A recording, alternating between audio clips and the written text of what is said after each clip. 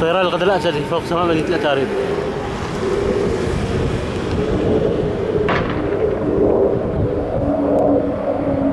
الله أكبر.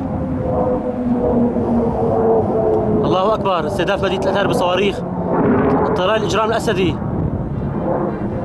لعنك الله ومن فيك.